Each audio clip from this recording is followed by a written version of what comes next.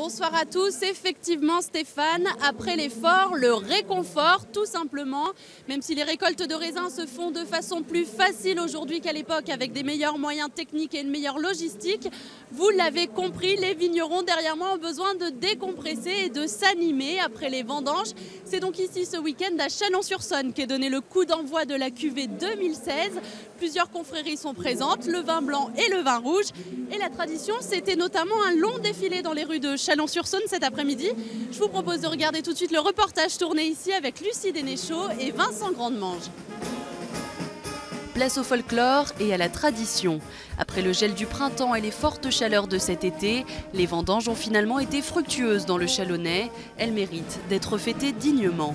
Le cortège de vignerons a défilé fièrement dans la rue. L'ensemble de la côte chalonnaise est représenté ici. La Polée est une fête incontournable et fédératrice pour toute la profession. On a fini les vendanges il y a à peine deux jours, nos vins sont encore en train de fermenter. Euh, c'est rare que les vendanges soient aussi tardives. C'est vraiment le moment d'amener le vin nouveau au milieu des rues de Chalon. Quand on a inventé la polée, on a dit c'est parti pour 1000 ans.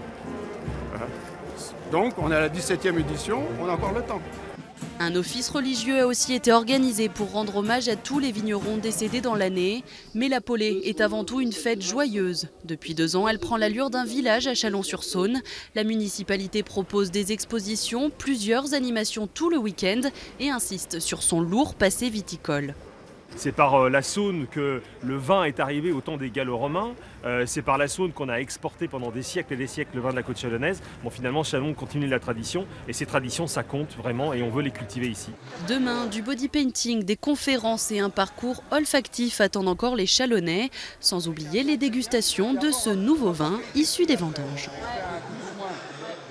Et ce nouveau verre de vin, je l'ai ici dans les mains. Je vais pouvoir le déguster en avant-première avant tous les Chalonnais qui sont là eux aussi pour déguster ce cru 2016. Plusieurs temps forts sont également au programme ce soir encore, notamment des intronisations et un grand repas qui est offert par la mairie de Chalon-sur-Saône. Avant demain, un nouveau parcours olfactif et d'autres animations. Bref, on n'a pas fini d'entendre parler de vin ici tout le week-end.